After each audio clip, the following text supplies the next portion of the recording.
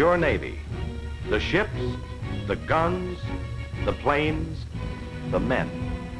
This is the greatest assembly of sea power that the world has ever seen. 50,000 vessels, 34,000 planes, more than 3 million fighting men. And we haven't finished yet. Each day your Navy grows, gains new sinews of steel, becomes more terrible in its striking power. This is your Navy. You ordered it. You built it. Your sons, your husbands, your brothers are the flesh and blood of it. Its Commander-in-Chief and Chief of Naval Operations, Admiral Ernest J. King. This picture is in the nature of a report on some of the things your effort and your savings have made possible. Today we hold the initiative. We are on the offensive, able to attack the enemy at places of our own choosing. That we are able to do so is a tribute to every one of you. For your labor and your money have provided the tools that we needed. Yes, today we are on the offensive. These are American troops on the island of Guam, 3,000 miles back on the road to Tokyo. We said we'd come back. Once again, Old Glory flies above the American soil that was in enemy hands for nearly three years. What did it take to put her there? It took a lot of things. It took battleships like the Washington here. This 35,000-ton monster can hurl 10 tons of steel and high explosive 20 miles in one minute of salvo firing. Her secondary and anti-aircraft batteries can pump a continuous curtain into the sky to protect both herself and the carrier she escorts.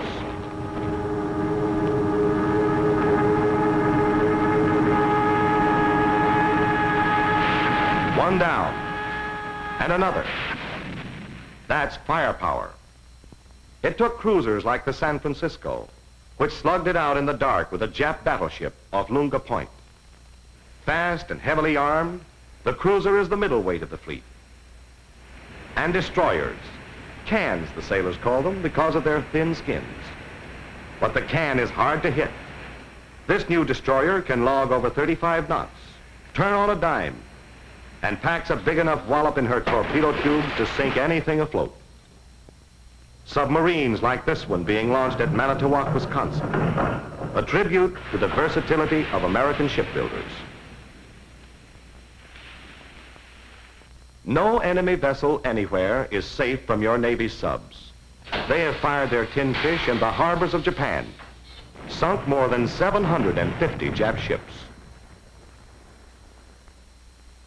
And the little PTs, the sea wolves which harried the Tokyo Express, prevented supplies from reaching beleaguered Jap garrisons. It took ingenuity, adaptability, and the Navy has demonstrated plenty of each. We couldn't spare enough destroyers to guard our convoys against the U-boats. Here is one answer, the DE, Destroyer Escort. Lighter than a destroyer, but tough enough to handle any sub. More than 300 DEs were rushed into mass production by the Navy. Watch this one make a depth charge attack. She packs a knockout punch. Germany almost won the last war with U-boats. This time, the Axis determined not to miss, produced a U-boat fleet of huge size. Here's another answer, the baby flat top. These converted merchant ships made it impossible for the U-boat to find safety in mid-ocean. They carry their squadrons of deadly Grumman Avengers wherever a submarine can go and launch a patrol which covers hundreds of miles of ocean. Flying artillery. These Avengers are equipped with a forward-firing rocket which can go in one side of a sub and out the other. Watch this one fire.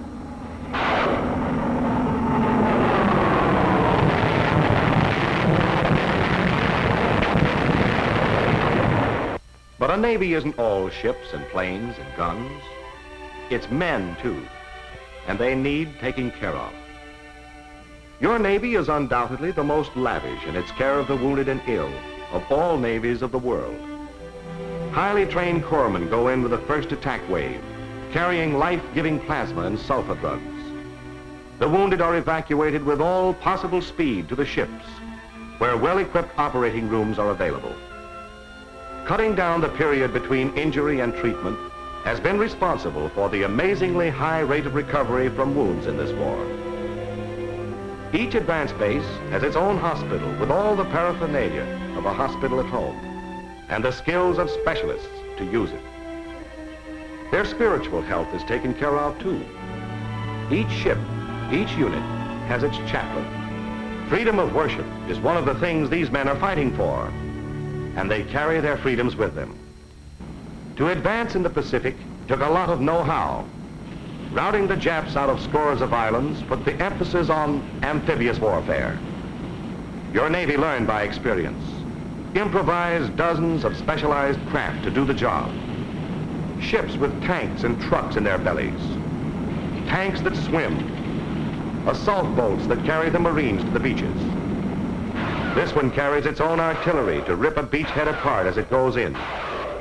Yes, rockets again. And watch their terrific destructive power.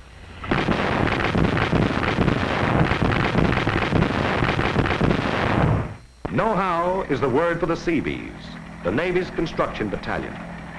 Craftsmen and builders all, they land right behind the assault troops and show the enemy what real construction speed is. The airstrip is the important thing. The ships and carriers make the gain. The airstrip consolidates it. The Seabees are carving this one through solid jungle. Yes, solid mahogany jungle. This is five days after the landing. There are still Japs on the island, but the airstrip must be built. And the Seabees are trained to drop their work and pick up a gun, like the old frontiersmen. Here's the strip 21 days after the landing. A thousand yards long and thick enough to take a fully loaded Liberator. They're a new branch in an old service, and the Navy is proud of them. Yes, it takes a lot of things. For this Navy, this colossus of sea power, is a complex, highly integrated engine of destruction. Each unit is designed to play its part in the advance, and each must function smoothly. But let's watch a complete naval operation, the recapture of Guam. Here, a task force leaves Island X. Over at Island Y, other units of the fleet assemble and take on supplies for the same assault. These are the big ones, which will smash Jap pillboxes, gun emplacements, ammunition, and fuel dumps. They cost $850 apiece, and one BB can fire hundreds in a day. But every pillbox smashed means American lives saved. Meanwhile, the carriers are standing off Guam, launching flight after flight of dive bombers and Avengers to pound the Jap defenses.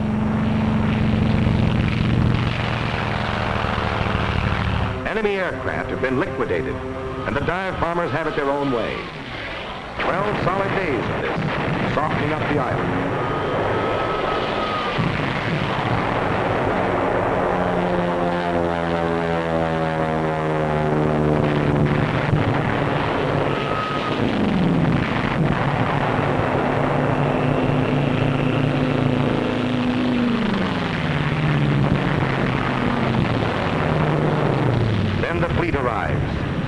Guns of the battleships and cruisers begin to search out enemy positions.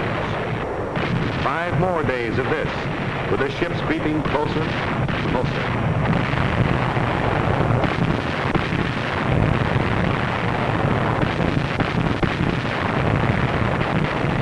Here's teamwork for you, and death for the enemy.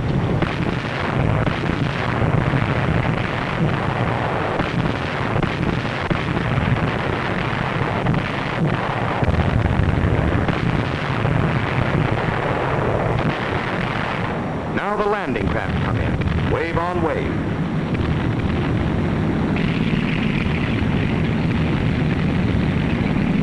These men are hardened veterans of amphibious war. They've never been stopped yet.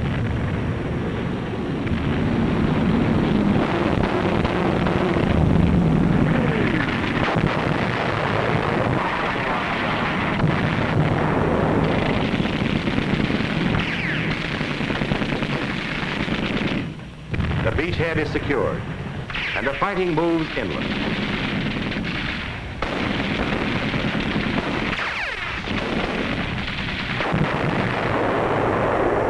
Here's what the Navy bombardment did to Jap defenses.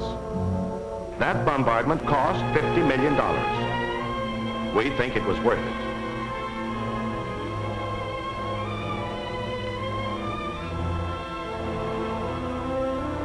Not all the lives could be saved. It cost a lot of American blood. 1,226 dead, 5,765 wounded. Guam is again ours. We said we'd come back. That was one action, one unit of the fleet. For action still to come, we have at our disposal the mightiest fleet that ever sailed the seas. 24 battleships,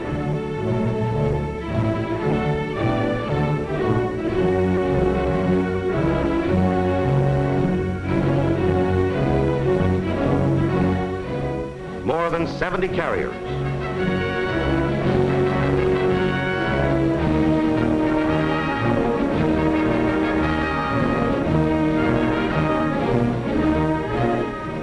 Fifty-four cruisers.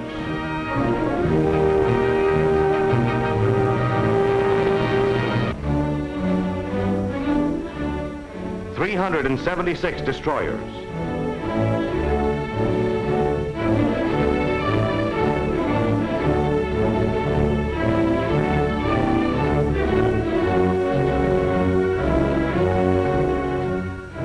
587 other warships.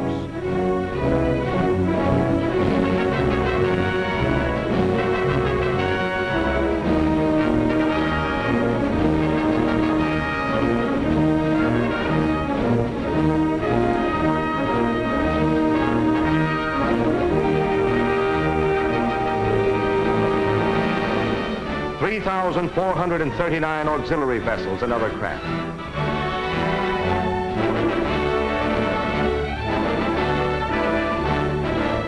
More than 42,000 amphibious craft.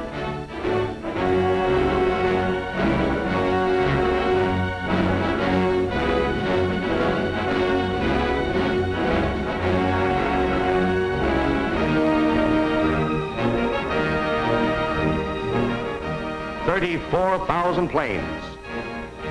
And we are still building.